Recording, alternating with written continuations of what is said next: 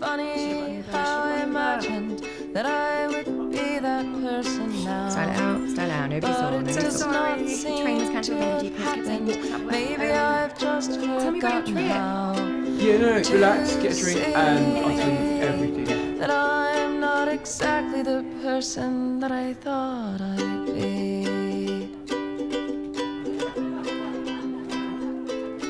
Yeah, I'll literally just be a minute.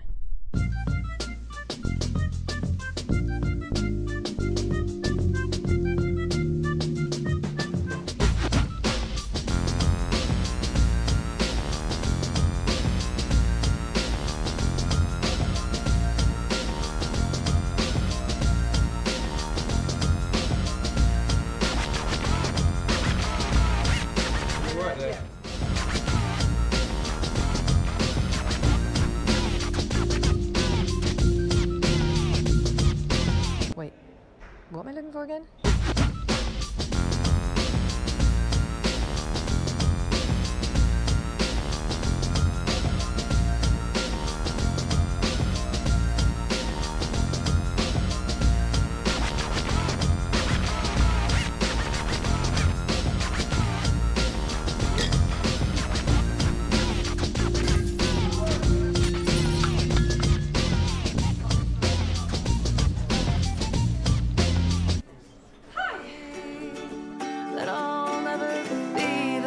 Person that I thought I'd be.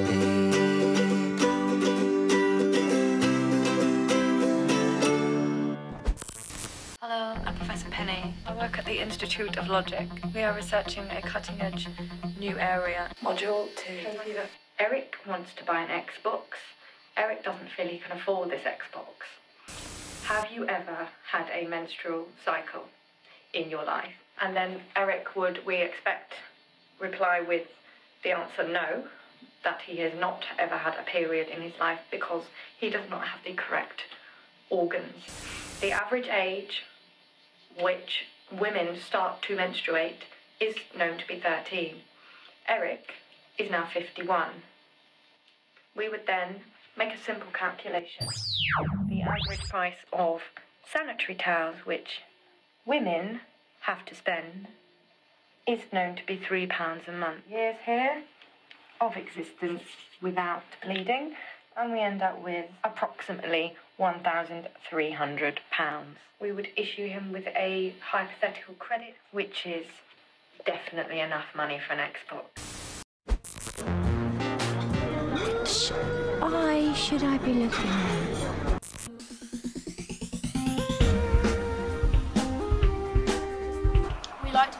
Ourselves as two people with a third brain. The best bit of my brain, the best bit of her brain creates this ultrasonic, creative monster third brain. We like going to Zenith and Neddie and all- Both Leos we are as well. yeah, it's our star sign. I think that's what's got us where we are. We've got to be very, very dedicated and power hungry to get where we are. We're very driven. So driven. So, what happens to the brain during a ghosting incident? Ghosting is such a distressing ordeal that top clinical scientists have begun to research a new condition known as ghosting triggered delusional thinking, that's GDGT. The mobile telephony stimulus triggers a firing of synapses in the frontal FOMO lobe, resulting in obsessive technological checking syndrome and the acute delusional thinking we've been seeing here. Well, thanks for that science. And now let's go back And to yet, Ellie one of the most serious side effects is that the friends of the ghoster can themselves, in time, slowly begin to contract ghosting triggered delusional thinking by proxy. I've got it. Maybe he's come home, realised his phone battery's flat, gone into his bedroom, put it on charge, and then gone back to the kitchen, realised he's hungry, so made some chili and tacos. He's got so absorbed in that, and the chili's on the stove, and then he's realised he's out of cumin powder. So he's gone down the shops, then realised that he'd forgotten his keys, goes back to get them, but can't get inside because it's burning to the ground with the chili. But he can't even call the fire brigade because his phone is on charge in the bedroom. Meanwhile, your messages come in, but it won't ever get read because it's gone up in smoke like everything else in his life. Yeah. I got the face! You got face? Yes! He's seen it! I got the dot dot dot.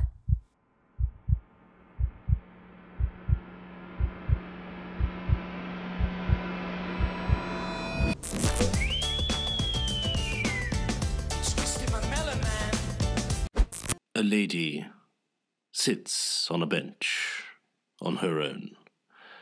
Two joggers walk by.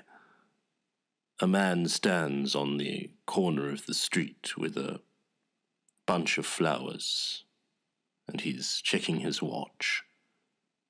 And a policeman is uh, directing traffic. Um, and there's a, there's a lollipop lady.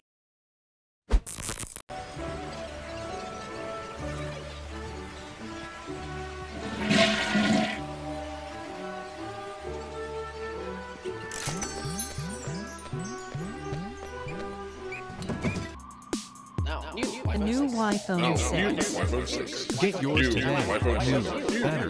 The new iPhone 10. The new iPhone 10. Buy today. New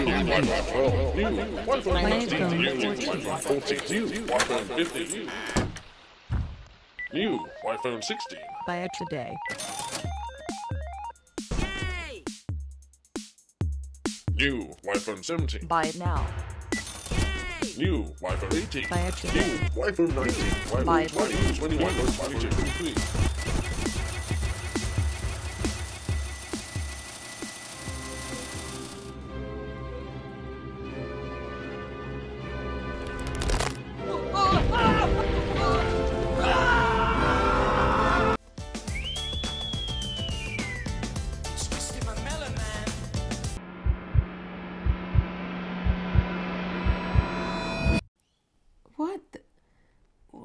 Well, now it's stopped. Patrick Swayze, baby.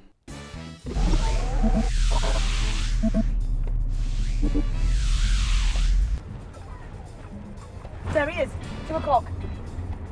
Eyes on suspect. Get him! Let's go. Byron, Byron, excuse me, Byron Woodward, excuse me. We're from the TV show Ghostbusters, Byron. What are you looking at? I think I might have the seafood linguine. Yeah. I think I'm gonna go for the burger and chips. Oh, I do feel a bit like chips. You can get yourself a side as well. Yeah, it's alright, I'll just have one of yours. My client would like to define the term one of yours. Is that literally one chip, or as many of my client's chips as you feel like? I'm not discussing this without my own lawyer present. My client would like more than one chip. I see. But my client also makes the point that your client at some point will look at her prawns and say, those look good. As such, we would like to negotiate a preemptive FOMO clause. Can we then agree on, say, a nominal amount of chips? Maybe five chips for one prawn. My client suggests 10 chips for one prawn. My client would settle on eight. Hmm? Was this clause about the crunchy ones? Ah, yes, that's a stipulation that none of the chips that you take from his plate will be crunchy.